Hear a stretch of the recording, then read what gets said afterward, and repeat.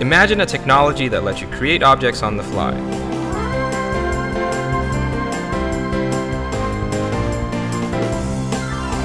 A powerful new medium formed by billions of microscopic robots, each with computational sensors that enable interaction.